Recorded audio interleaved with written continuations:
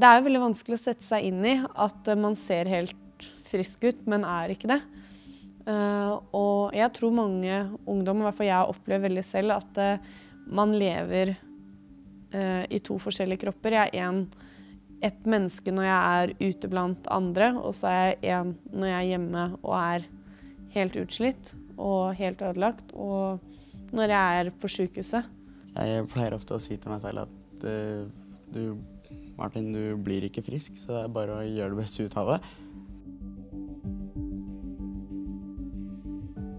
Det er en stor paradoks å være ungdom og samtidig forholde seg til en kronisk sykdom. Å være ungdom betyr å kunne leve impulsiv, her og nå, prøve ut egne løsninger, føle at man er lik alle andre og kan gå i takt med andre ungdommer.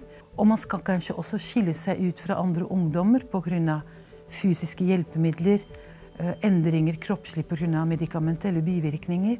Ungdom med kronisk sykdom skal gå sammen, gjennom den samme forandring som andre ungdom skal.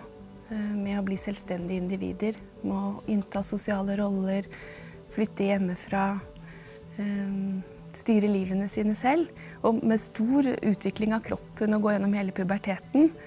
Og samtidig skal de ha den kroniske sykdommen som de skal ta hensyn til. Og det kan være ganske utfordrende det er en veldig viktig tid i livet ditt. Da. Det er da du utvikler, utvikler deg selv og liksom lærer mye om deg selv og får nye venner og sånne ting. Og skole, skole var også veldig viktig, og da følte jeg at jeg mistet veldig mye av ungdomstiden min. Da, på en måte. At det, det, liksom lite, det er et lite hull der. Å leve med en kronisk sykdom det påvirker den biopsykososiale utviklingen. Kronisk sykdom det på en måte gjøre noe med opplevelse av å ha kontroll over eget liv og over egen kropp. Det kan vanskeliggjøre det å virkelig kunne bestemme selv og være uavhengig. Og det påvirker også hvordan jeg oppfatter meg selv.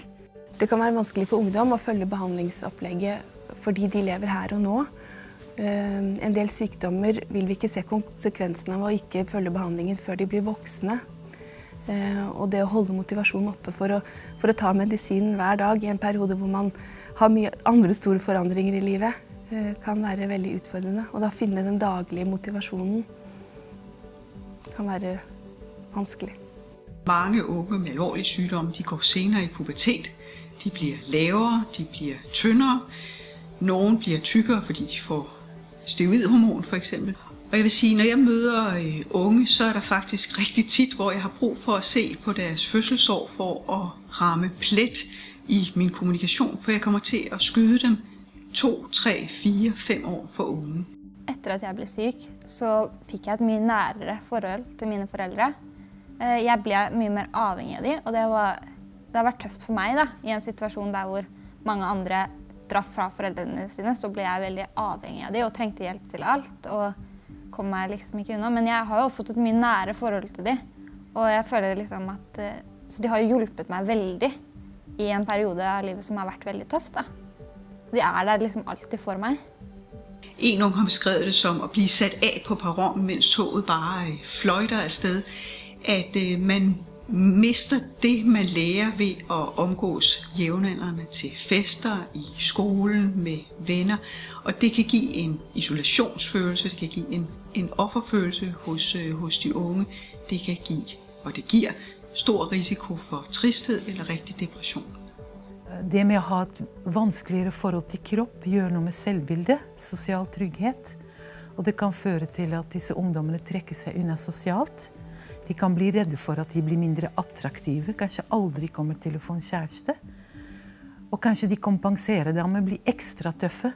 Iallfall være den som klarer å drikke mest. Det kan være den andre enden. Eller kan føre til at det blir mye isolasjon, engstelse, depresjon.